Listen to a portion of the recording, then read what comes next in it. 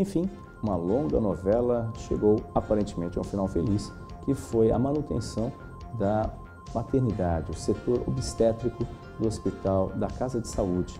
E isso certamente é um alívio para muitas mães que estavam já muito preocupadas em relação a esse risco do fechamento dessa maternidade especialmente para aquelas que querem fazer efetivamente atendimento de partes naturais. A Beneficência Portuguesa, por exemplo, já tinha fechado sua maternidade no final do ano passado, já provocando problemas, obviamente, nas demais maternidades, porque além das mães que moram aqui em Santos, ah, obviamente as maternidades aqui da região, elas atendem mães de todas as localidades da Baixada Santista, o que dá uma concentração enorme de crianças que nascem aqui na cidade. E isso, obviamente, seria um risco muito grande. A prefeitura agiu firme nesse aspecto, né? e o próprio secretário Marcos Calvo prometeu, inclusive, e aí que está uma outra questão a ser analisada pela Câmara, que discutiu a possibilidade de isenção de impostos, IPTU e ISS, por exemplo, para os hospitais que fazerem benefícios, ou darem benefícios à população.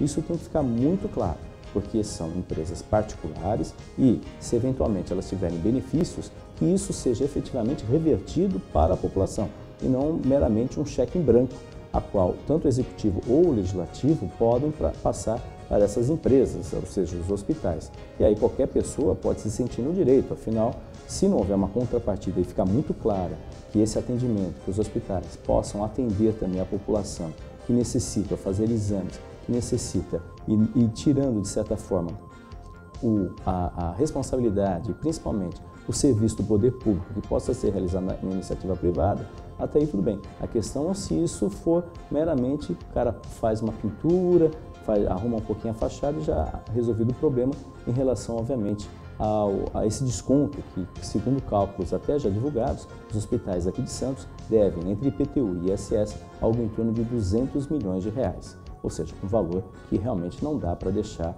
de lado e não pode ser esquecido. Isso vale também para outros tipos de obras, por exemplo, a polêmica das passarelas. As passarelas, por exemplo, que existe até um, um grupo empresarial que tem interesse, já divulgou inclusive na, na, peças publicitárias, o interesse de construção de uma passarela. Independente se é favorável ou contrário, o que deve ficar bem claro é assim, são as contrapartidas que porventura isso acontece. Né? No início dos anos 90, a ex-prefeita de, de, São Paulo, na ocasião, Luísa Regina, ela, por exemplo, propôs a um shopping center em São Paulo a troca de uma construção de uma passarela, o que foi feito pela construção de 700 habitações populares. Então, está aí uma boa ideia, né? afinal, se quem quiser aproveitar essa possibilidade, pode muito bem investir no Fundo Municipal de Habitação Popular, que anda muito mal das pernas. E o que não falta é gente precisando de habitação popular.